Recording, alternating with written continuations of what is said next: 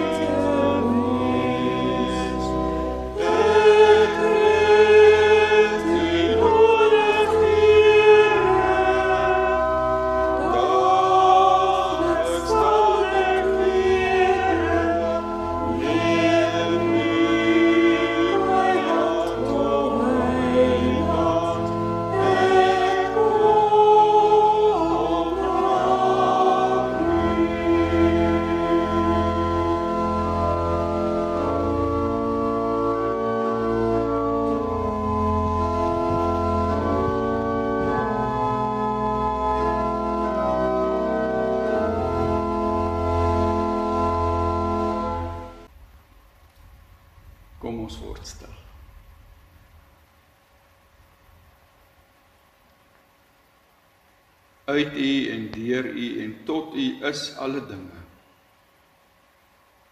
Aan U kom toe die heerlikheid tot in alle ewigheid. Amen. Gemeente, genade vir julle en vrede van God ons Vader en van Christus Jesus ons Here en van die Heilige Gees. Kom ons loof die Here nou met 'n beruiming van Psalm 121. Dit is Vlam 16. Ek kyk op na die berge. Mm.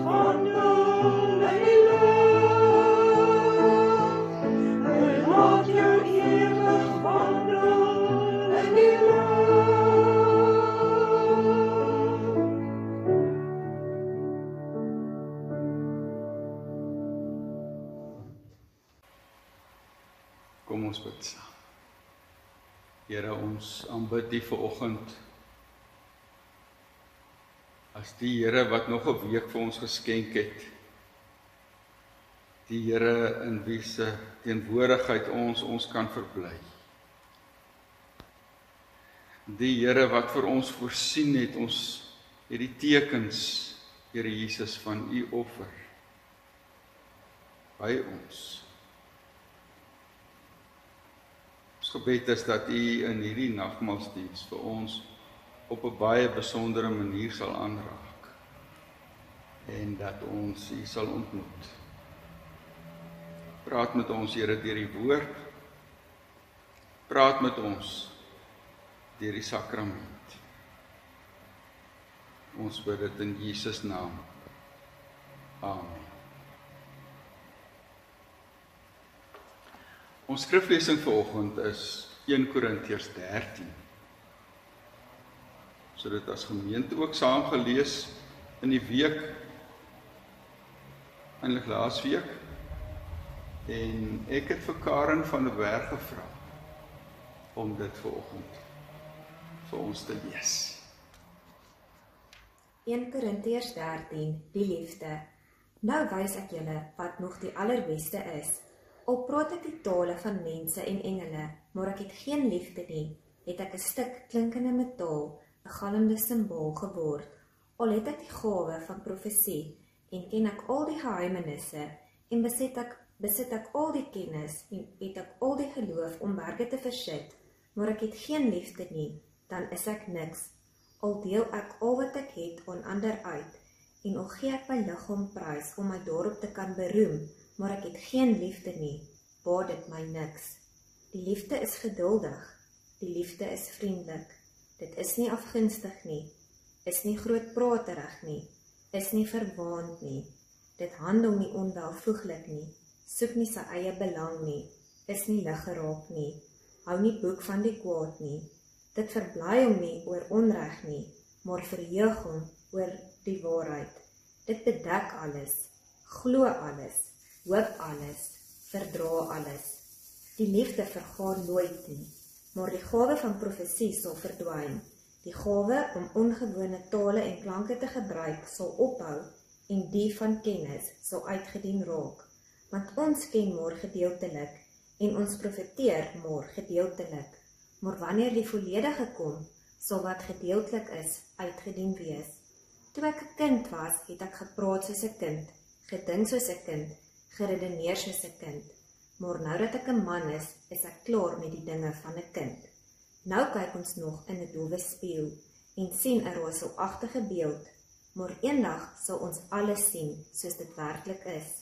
Nou ken ek net gedeeltelik, maar eendag sal ek ten volle ken, soos God my ten volle ken. En nou, geloof, hoop en liefde bly hierdie drie, en die grootste hiervan is die liefde.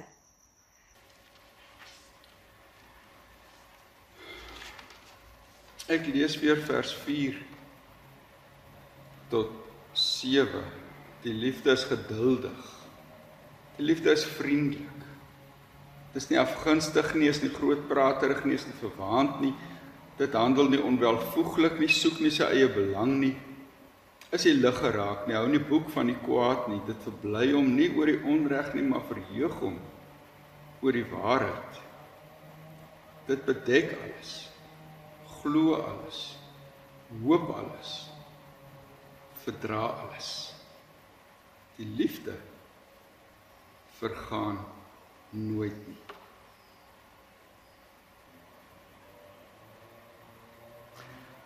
Ek wil begin deur julle te nooi om te luister na die baie bekende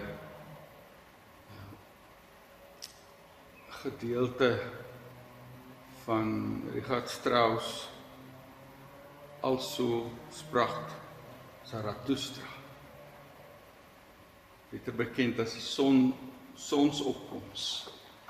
Ehm um, en en kom ons luister hoe klink dit? As mense wat nie baie geoefen het nie of baie bedrewe is nie of dalk glad nie bedrewe is nie as hulle dit probeer speel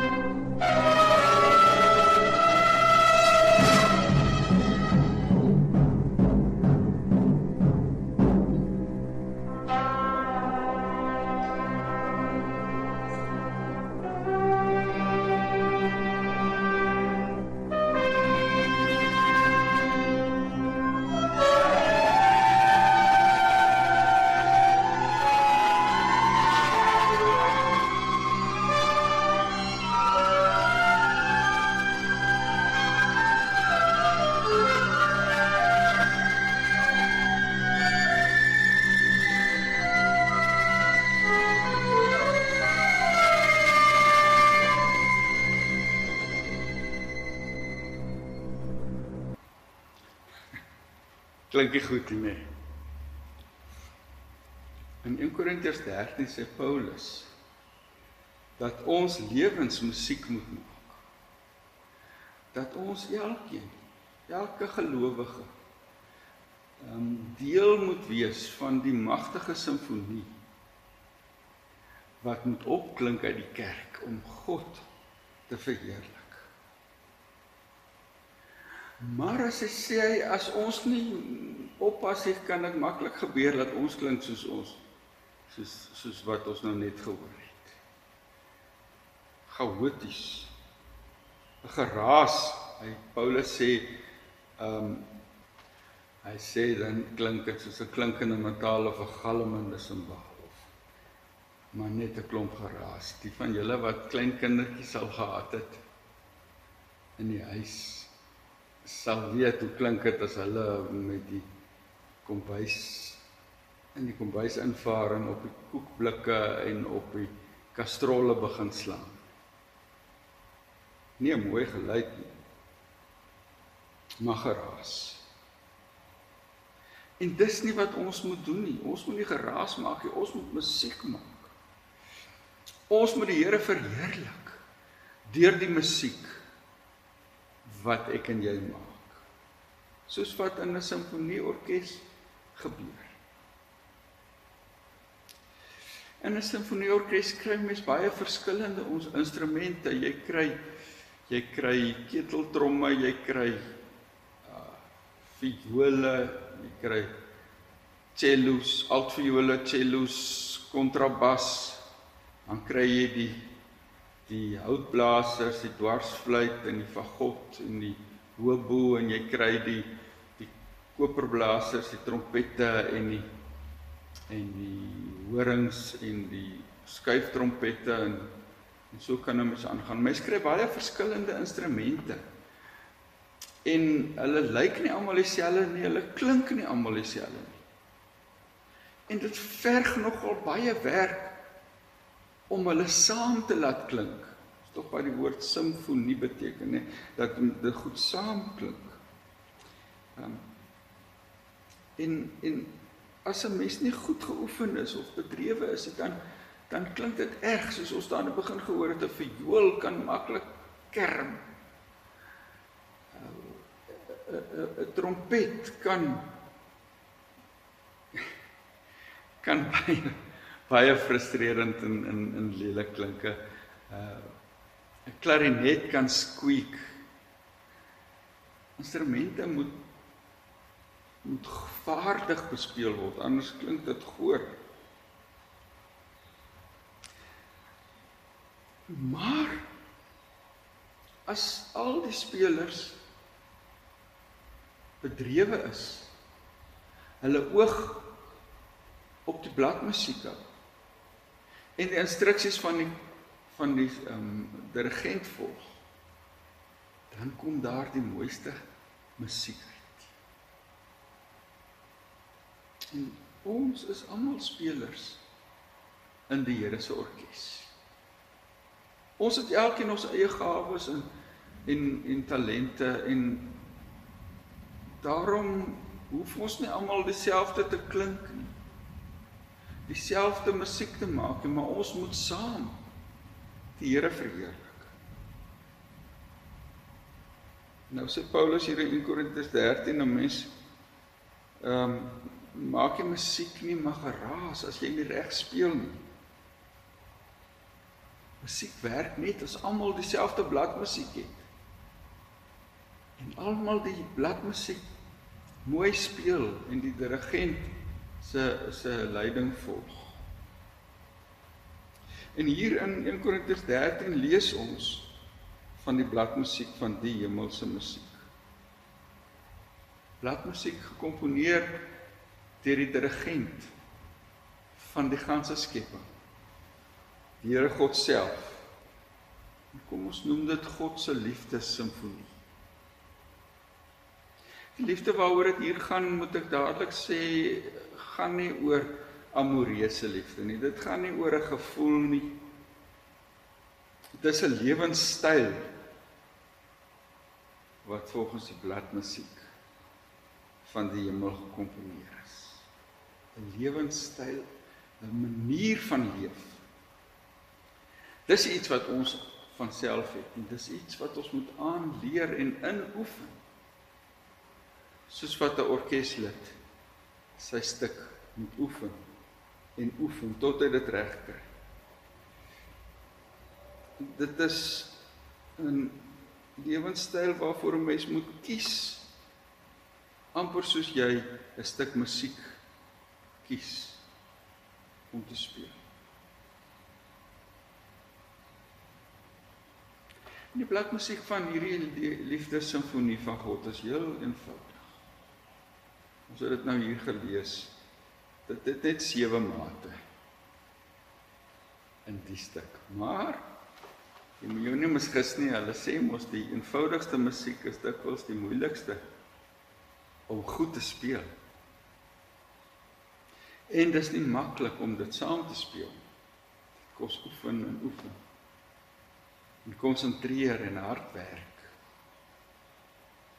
Die eerste maat van van God se liefde simfonie klink so. Die liefde bly geduldig. Die liefde gee om. Dit kan ook so sê om lief te hê beteken om geduldig te wees, om om te gee vir ander. Dis maat 1. Maat 2. Die liefde is nie jaloers nie. Spog nie. En is nie verwaand nie. Om lief te hê beteken om goeie dinge aan ander te gun en nie te spog en hoogmoedig te wees oor dit wat jy het nie. Maar 3 Liefde tree nie onbehoorlik op nie en jaag nie eie belang na. Ons kan ook sê 'n mens wat ander liefhet is nie onmanierlik nie en dink nie net aan homself. Die vierde maat sê die liefde is nie lig geraak nie. 'n Mens wat 'n ander liefhet word nie gou kwaad nie.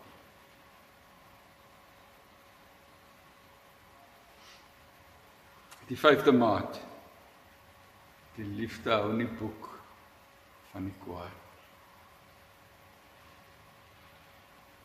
Mense wat ander liefhet onthou nie al die onreg wat ander hulle aandoen sodat hulle op die regte tyd dit weer kan uithaal en terugslaan. Maak 6. Die liefde is nie bly oor onreg nie, maar is saam bly oor die waarheid. Jy kan nooit oor die verkeerde dinge gelukkig wees nie. Dis net die waarheid wat die liefde gelukkig maak. Die sewende maat is die finale. En dit klink so. Die liefde bedek alles. Glo alles. Hoop alles. Verduur alles. Die liefde vergaan nooit. As jy liefhet, kan jy foute vergeef die beste dinge oor ander glo en die beste van ander verwag en nooit maar nooit ophou om lief te hê. Dis hoe die bladmusiek van God se liefde simfonie klink. Dis wat ons tuis moet inleef, instudeer by die huis gaan gaan onder die knie kry soos 'n orkesspeler by die huis sy stuk moet oefen. Nie so 'n slegte idee om maar elke week weer 1 Korintiërs 13 te lees nie. Om ons op te skerp oor hoe klink God se liefdesimfonie. Maar al ken jy jou stuk baie goed, beteken dit nog nie dat jy saam met ander mooi musiek kan maak. Daar's nog twee ander vereistes voordat 'n klomp musisi hoe goed hulle ook al is saam musiek kan maak. En die eerste vereiste is dat hulle instrumente gestem moet wees, ingestem op mekaar.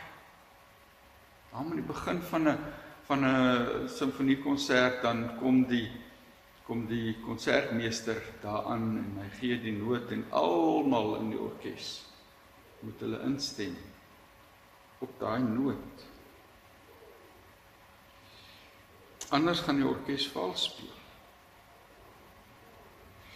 En dan wag hulle vir die dirigent en hulle speel soos hy vir hulle lei. Hulle moet hom volg. Elkeen kan nie maar net sy eie stukkie speel en en speel wanneer en hoe en en so sy lus het nie. Sy eie tempo kies.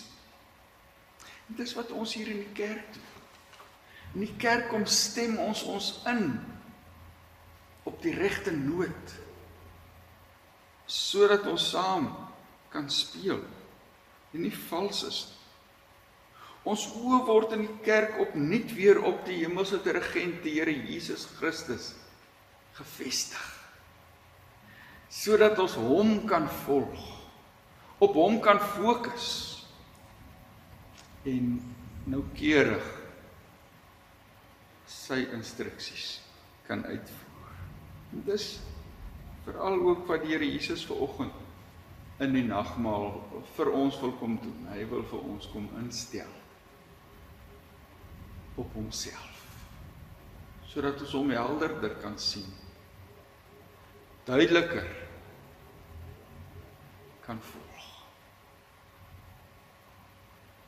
sodat ons weer kan fokus op hoe groot sy liefde is op sy bloed wat vir ons gevloei het sy liggaam wat vir ons gebreek is Dink net watter magtige simfonie hier vanuit Petersburg kan opklink. As ons almal ons note ken. Ons instrumente kan kan kan hanteer en ons almal met die oog op die hemelse dirigent Jesus Christus kan leef. Kom ons luister hoe klink al so 'n pragtige toestrag as dit reg gespeel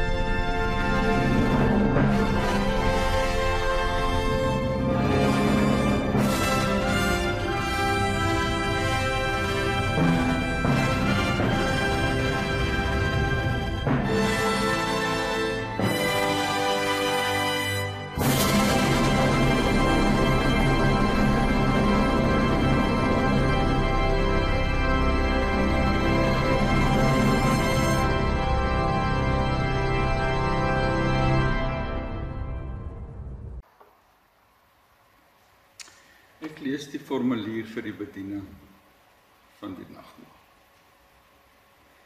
Die Here het self die nagmaal ingestel, daarvan getuig Paulus. Ek het van die Here ontvang wat ek ook aan julle oorgelewer het. Die Here Jesus het in die nag van hy oorgelewer is brood geneem. En nadat hy God daarvoor gedank het, het hy dit gebreek en gesê dis my liggaam, dis vir julle. Gebruik dit tot my gedagtenis. Net so ook het hy na die maaltyd die beker geneem en gesê: Hierdie beker is die nuwe verbond wat deur my bloed beseël is. Gebruik dit elke keer as jy daai drink tot my gedagtenis. Elke keer as jy van hierdie brood eet en uit die beker drink, verkondig jy die dood van die Here totdat hy kom.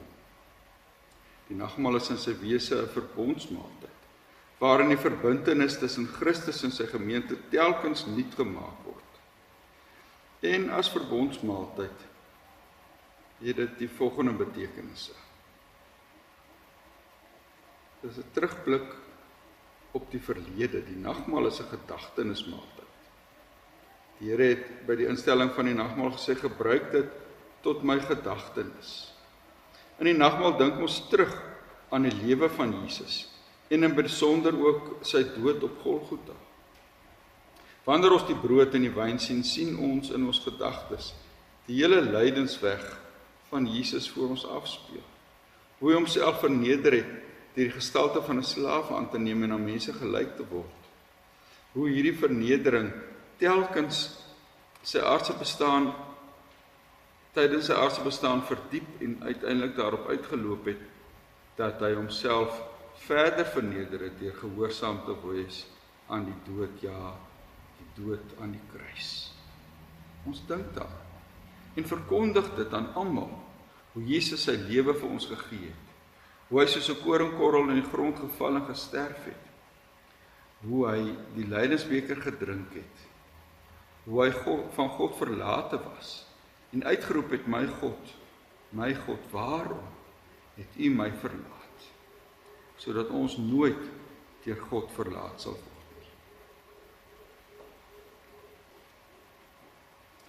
Die nagmaal is ook 'n versterking in die hede.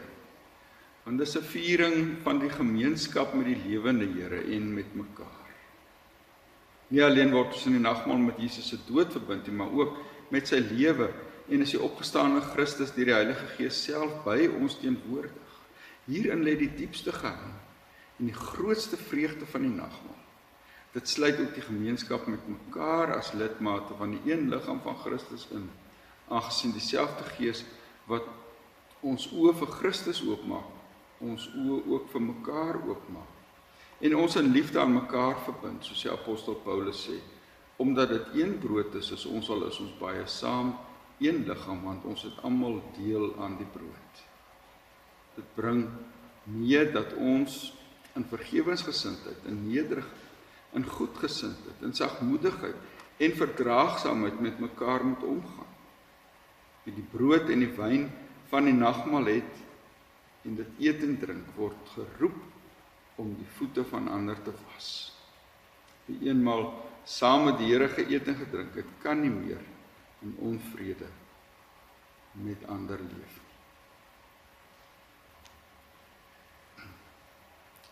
Ons kan dus sê dat die nagmaal 'n uitnodiging is om ons aandeel aan die volle verlossing in Christus feestelik te vier en opnuut daarvan verseker te word. Dis 'n geleentheid om deur die tafelgemeenskap ons gemeenskap met die lewende Here en met mekaar te verdiep en so versterk te word in ons geloof en ons getuienis en ons toekomsverwagting. Hier by die nagmaal by die gebruik van die tekens dank ons hom met ons hele wese en gaan ons nou om dankbaarheid ons hele lewe aan hom wy. Laat ons ernstig daarna streef om met ons hele lewe dankbaarheid aan die Here te bewys deur 'n ware liefde teenoor hom en ons medemens te leef.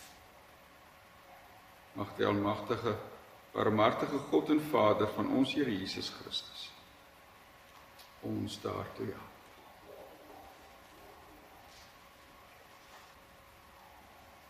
Voor ons saam die nagmaal gebruik, kom ons sing lied 301 eet die brood. En drink die wyn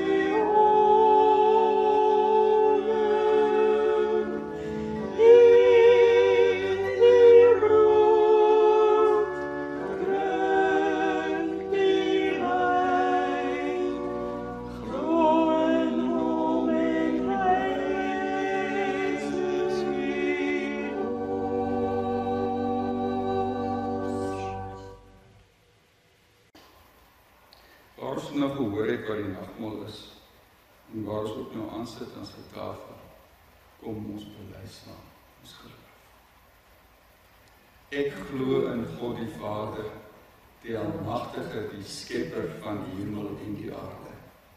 En in Jesus Christus, sy enige gebore seun, ons Here, wat ontvang is van die Heilige Gees, gebore is uit die maag Maria, wat gelei het onder Pontius Pilatus, gekruisig is, gesterf het en begrawe is en ter helle neergedaal het. Wat op die derde dag weer opgestaan het uit die dode, wat opgevaar het na die hemel en sit aan die regterhand van God, die almagtige Vader, van waar hy sal kom om te oordeel die wat nog leef en die wat reeds gesterf het. Ek glo in die Heilige Gees. Ek glo aan 'n heilige algemene Christelike kerk, die gemeenskap van die heiliges, die vergifnis van sondes, die opstanding van die vlees en 'n ewige lewe. Amen. Barmhartige God en Hemelse Vader, ons dank U vir Jesus Christus wat met sy liggaam wat gekruisig en sy bloed wat vergiet is ons tot die ewige lewe voed en versterk. Gee dat ons met ons harte aan die sigbare tekens van brood en wyn vaskleef en mag gee dat ons nou ons harte ophef na die hemel waar Jesus Christus ons voorspraak aan u regterhand is. Gee dat deur die werking van u Heilige Gees ons geloof versterk word tot meerdere kennis en meerdere diens in u koninkryk en tot verheerliking van u naam. Hoor ons as ons saam met die hele Christendom nou bid. Ons Vader wat in die hemel is, laat u naam geheilig word. Laat u koninkryk kom. Laat u wil ook op die aarde geskied, net soos in die hemel. Gee ons vandag ons daaglikse brood en vergeef ons ons oortredinge soos ons ook die vergewe wat teen ons oortree. En laat ons nie in die versoeking kom nie, maar verlos ons van die bose. Want aan U behoort die koninkryk en die krag en die heerlikheid tot in ewigheid. Amen. Ek wil julle nou almal uitnooi saam met ons die dood van die Here te gedenk in die nagmaal.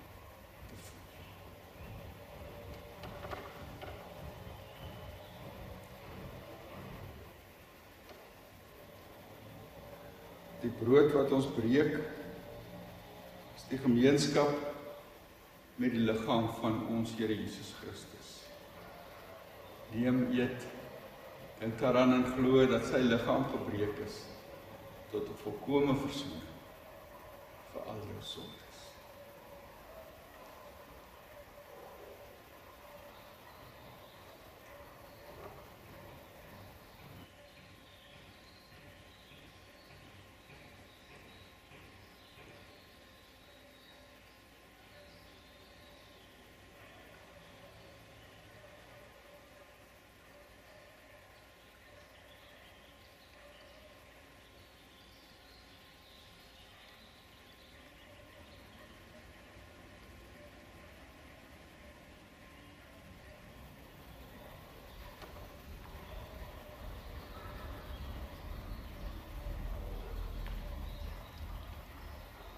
Die beker van danksegging wat ons met danksegging seën is die bloed van ons Here Jesus. Neem, drink, dink daaraan en glo dat sy kosbare bloed gevloei het tot volkomme verzoening vir al ons sonde.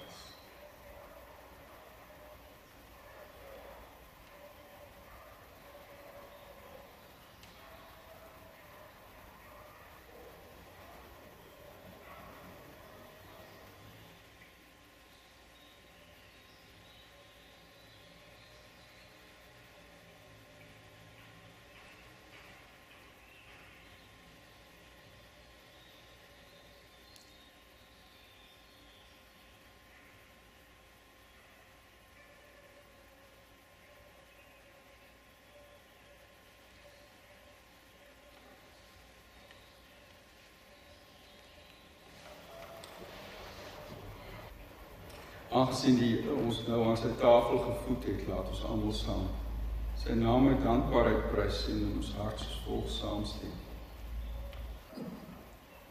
Ek wil U met my hele hart loof. Dat die gode maar hoor dit is tot U eer dat ek sing.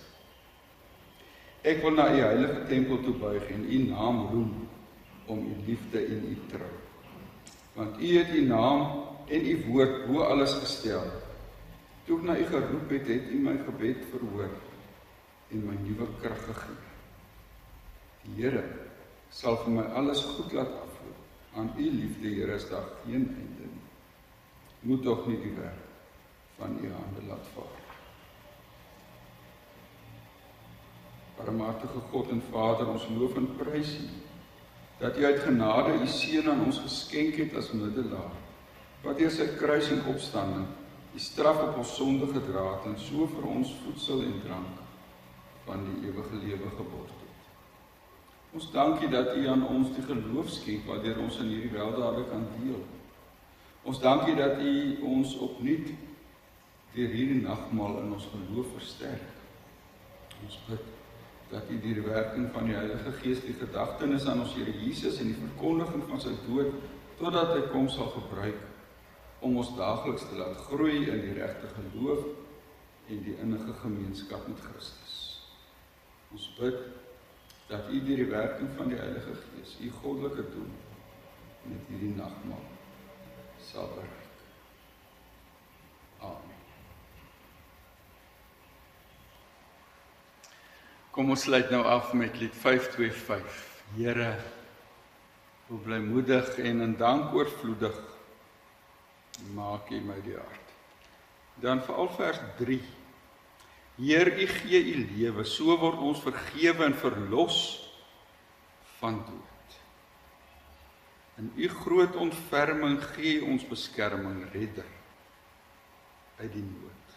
En dan ons belofte as reaksie op die nagmaal. Ons sal tot U eer, o Heer, in U heil met blydskap leef aan U oorgegee.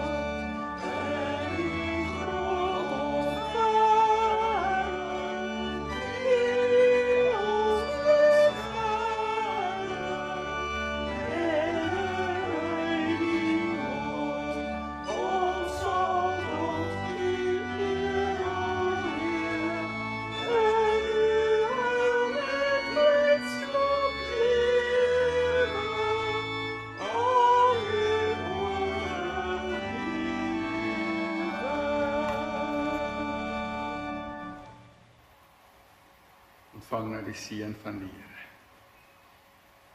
En gaan leef met jou oog op die Here. Ons hemelse dirigent. Mag daar uit jou lewe die lieflikste klanke kom wat inpas in die simfonie van die liefde. Die genade van ons Here Jesus Christus, die liefde van God Ons Vader en die gemeenskap van die Heilige Gees ons voorspraak bly by julle almal. thank you